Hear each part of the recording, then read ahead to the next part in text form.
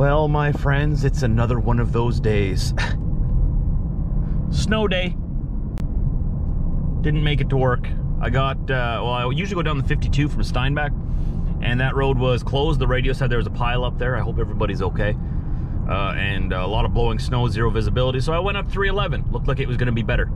Literally 10 foot drifts over the entire road. there was a big front end loader there working on it. He's gonna be there a while. I don't know how the snow got that high. It's crazy.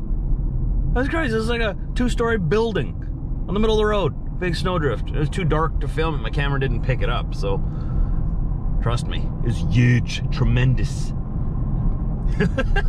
so I called the boss and I said, well, I texted him, said, hey, roads, I can't get to work. I'm trying. I'm trying. And then I looked at 511 Manitoba, the road report, and they just closed all the roads after I left home. I'm like, oh, that makes sense. I mean, so the roads are closed now. So all of us here on the road right now, we're just headed back to our homes. Might have to work tomorrow on Saturday now to make up for this, but that's okay. At least I, uh, at least I have the opportunity to make up for uh, lost income, right? So it looks like another day of farming for me. This winter has been pretty crazy already. There's been a lot of snow a lot more than we've had in recent years.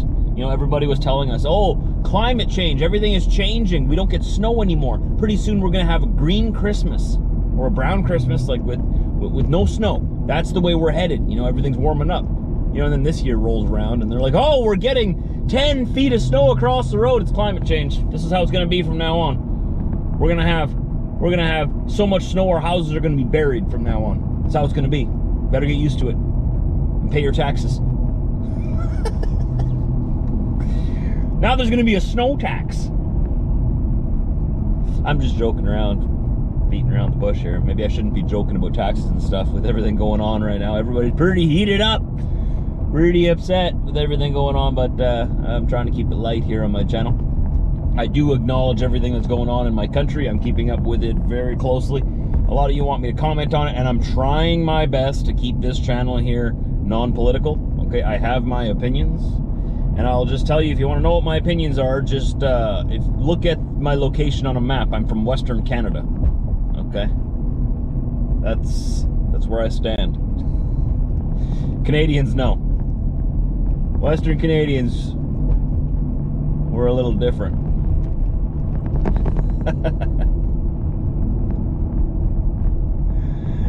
but yeah, anyways, uh, in town here's not too bad. Roads are doing all right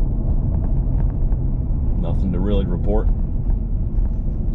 Uh, there are uh, everything that's going on. There are big protests and stuff rolling through town all the time. Yesterday there was another big one during the day, and then last night they were honking their horns everywhere. Uh, that's that's sort of a, a, good way to describe how. Uh, to people who aren't from Canada, when you say uh, when I say I'm from Western Canada, they're like, "Oh, what does that mean?"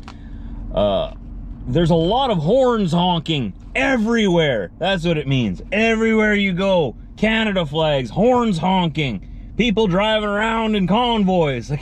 Like it's, it's just the thing to do. That's that's what Western Canada is. They're very upset right now. You might be thinking to yourself, if you're not from Canada, and you're like, oh, I thought all the noise and all the action was in Ottawa. Well, yeah, that's the one that's in the news all the time. It's not just in Ottawa. It's in every major city in the country. Everywhere. And all the countryside. Every small town. Like this town gets noisy. Very passionate. Very passionate. Tomorrow's Saturday. It's the weekend. All of these people get off work. It's gonna be busy. It's gonna be noisy. It's gonna be passionate. We'll see what's uh what's gonna happen, but yeah, it's uh, it's a very passionate time in our country right now. Uh, I've never seen so many Canada flags flying everywhere. I mean, maybe it's not like that in every part of the country, but I know out west here, that's all you see. That's all you hear. Honk, honk, honk, honk, honk, honk. And we're back. I only got like half an hour of farming in. Very disappointing. Very disappointing. I didn't even screen record any of it. That's how little time I had the weather cleared up, the roads opened up, and I got the message, hey, roads are open. So here we go, it's 9.30 a.m. right now. So we're headed in a little bit later than usual. We're a little behind. I have to go up to Teulon, pick up some stuff, and then I have a few other things to get done today yet, I believe in Arborg. We'll see. I have to pick up some stuff in Teulon. That's all I know right now. And then uh, we'll go from there. The roads are all open. Got Subarus drifting around corners. It's going to be a good day. Looks like we still got the cleanup crew out here.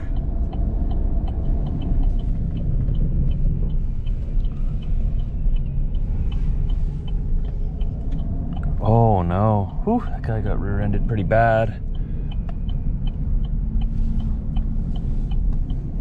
This car stuck here. Yikes! Oh, that guy got rear-ended there. Oh boy. Well, the roads are open. Uh, they don't look open, but the government website told me they were open. And my boss told me they were open. So, here we go. I'm sure it gets better. I, I did look at the traffic cams and stuff, and everything does get better out there. Just like yesterday. But we're gonna take her easy. Take her easy. The boss says the roads are open. The roads are open, right? the government said it too, so I can't argue with the government, right? They're always right. If you ever wondered what Manitoba would look like on like a postcard, here it is.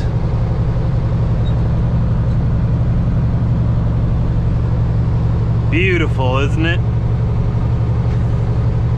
Got a little house on the prairie right here. The road's actually not too bad here. We just gotta watch some of these drifts. They're a little bigger and harder than they look. Drifts may, may be harder than they appear. You don't want to hit it and it might suck you into the ditch. So we're just putting along here, going kind of slow. Uh, we got good traction on the road itself. But when we get into the, the treed-in areas, it gets a little bit sketchy. But I'm almost at the customer now. We're gonna load up our freight and then I'm supposed to go up to Arborg and grab something else. I don't know if I'm gonna make it up there now because I had to get to work late today because I was literally blocked by that 10 foot drift in the morning, so I couldn't get to work. Man, these drifts are going right over the lane here.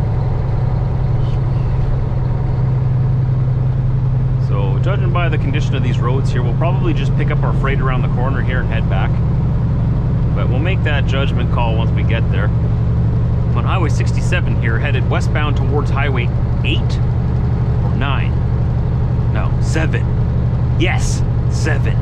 We're gonna go a little ways up 7 to Teulon. We'll see how, how good that road. That road's a little bit uh, better established than this road. It's also not it's also going straight into the wind.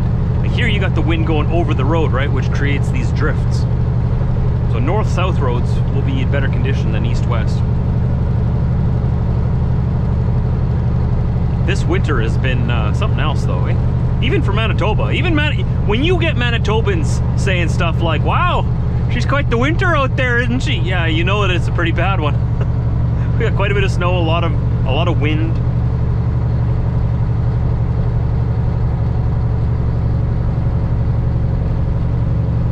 Been good. It's been good. We're on our way to spring now. We're past the uh, the deep freeze stuff. I think it's gonna go down to about minus 33 tonight yet, and that's probably gonna be the last night, I'm sure. If not one of the last nights where it gets that cold.